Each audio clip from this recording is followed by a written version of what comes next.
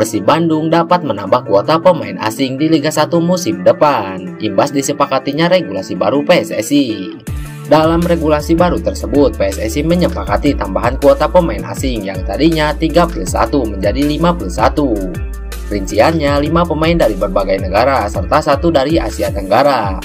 Namun nantinya yang dapat masuk list pertandingan hanya 41 pemain asing. Satu pemain asing lainnya dapat disimpan untuk bergantian di pertandingan selanjutnya. Dengan keputusan tersebut, Persib Bandung dapat menambah sejumlah pemain asing di musim depan. Salah satu opsi yang bisa didatangkan Persib Bandung adalah Juan Mata. Kenapa Juan Mata? Seperti diketahui, Juan Mata merupakan salah satu pemain andalan Luis Milla di timnas Spanyol U21 beberapa tahun yang lalu. Mantan pemain Manchester United ini sekarang bermain di Turki bersama Galatasaray. Namun durasi kontraknya sangat singkat.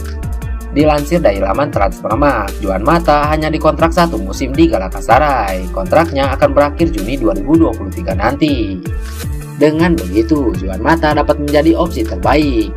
Pasalnya, Luis Milla tentu cukup akrab dengan gaya main Juan Mata yang terkenal cerdas dalam mengorganisasi lini tengah, bahkan di sisi sayap. Seperti diketahui, Persib Bandung sendiri memang cocok menjadi destinasi pemain hebat dunia. Sebelumnya, terdapat nama ex pemain Chelsea, Michael Essien, yang pernah merumput di kota kembang beberapa tahun lalu. Ini baru sebatas rumor dari beberapa media. Mudah-mudahan bisa terwujud di tahun mendatang, agar bisa mendapatkan pemain yang diinginkan.